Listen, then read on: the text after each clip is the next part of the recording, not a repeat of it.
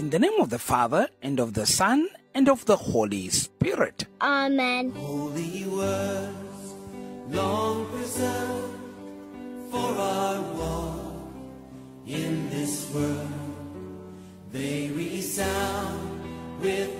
God's own heart. For our good night message on this Monday, the 27th of February 2023, broadcasting from the Salesian community of the Sacred Heart in Lusaka, Zambia, by your servant Father Eustace Siame, a Salesian of Don Bosco, we listen to this encouraging message in line with the Word of God for today in form of a story entitled The Ant and the Dove.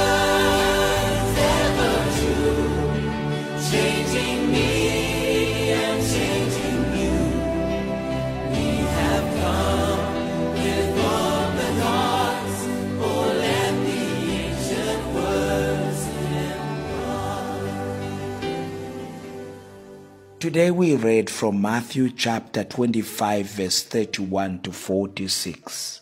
The passage was focusing on almsgiving, and this almsgiving is the way we relate to one another, and at the end of the day, judgment will be based on the way we showed kindness and goodness to other people.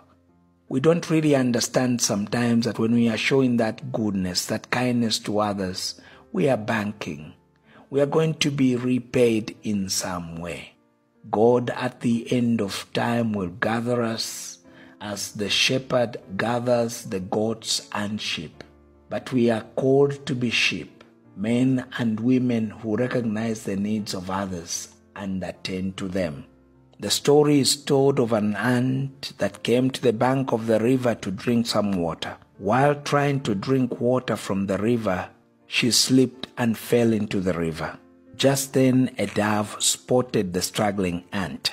The dove quickly plucked a leaf and threw it into the water near the struggling ant.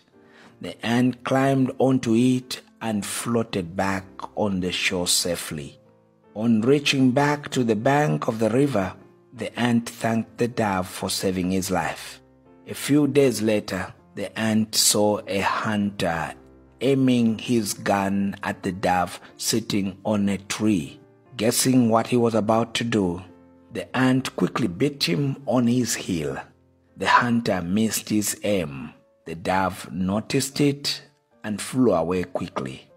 The ant walked away happily as she was able to help the dove in return.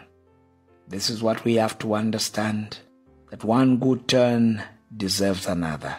When you help other people, do not think that your help will go in vain. If human beings don't repay you, God Himself will repay you at the end of time.